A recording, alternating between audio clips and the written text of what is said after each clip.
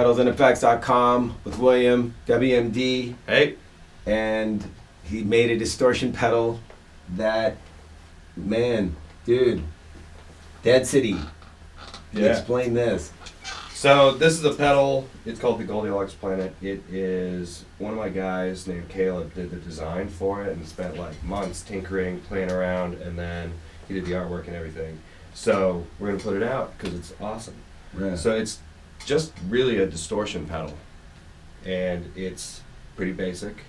So yeah, so we, it's we know what really volume means, we know what tone Sure, means, sure. presence we've heard of, gain we heard of. Okay, the Right. switch here is okay, so three way, Yeah, three-way diode clipping circuit. So in the all middle, silicon. all silicon diodes. They're 4148s. Uh-huh. Uh, in the middle, they're not connected at all. So it's full open. Full open, Right. exactly. Uh, I believe it's up.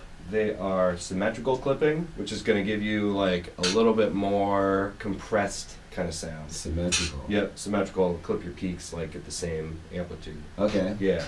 And then down is asymmetrical, which will give you a little bit more level and less compression. But so one side's compressed more than the other. So like Huh. vertical, like up and down when you're playing the the strings. So we'll be able to hear this. You'll be able to hear it, yeah. Right. It's, a, it's most compressed, a little bit louder, and then no compression, just distortion. Right, got yeah. you. Yeah. And then the density knob, which is not something we The see on distortions. Density knob is like an input high pass filter and where it sits, like it, its frequency, basically. Uh-huh.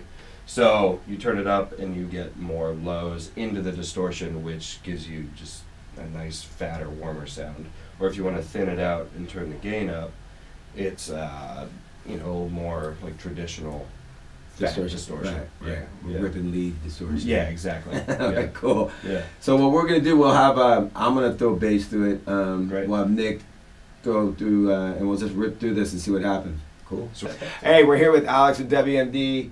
Alex is gonna kind of knob spin while I, I rip some uh, some bass on it. Uh, basics kind of distortion right now, right? Uh, right now we're kind of Oh. starting with the clean boost actually. Oh, okay, so cool. This is just we'll turn it off and let you.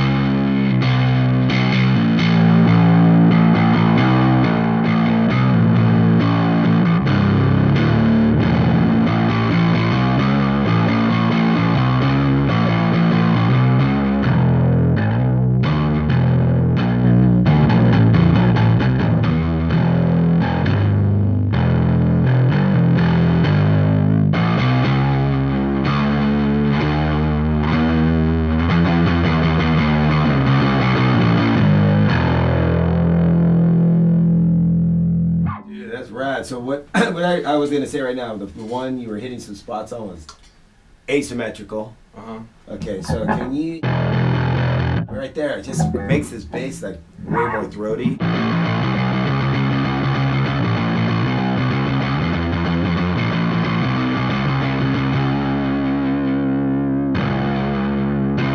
And can you open the tone up slowly? Yeah, yeah.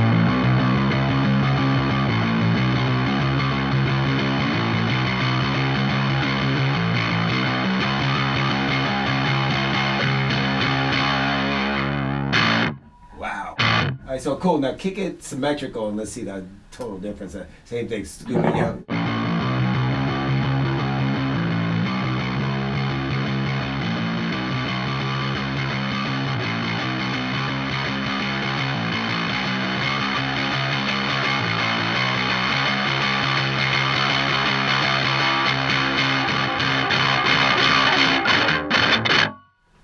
Right off the rip, this is like a really cool sounding pedal for guitar when it's not just dimed and like gnarly sounding. Yeah, it's a really good, just kind of like preamp, if you will. Yeah, most definitely. I mean, the you can use it as a clean boost. You got the volume all the way up and the gain down. But yeah, if you just crank the gain a little bit, you just get a little bit of break in on like Mm. the uh, the harder you play, you know. And I really like taking the tone up on guitar and just kind of like getting just taking out those lows and getting that kind of like Michael Jackson like chicka chicka out of it, you know.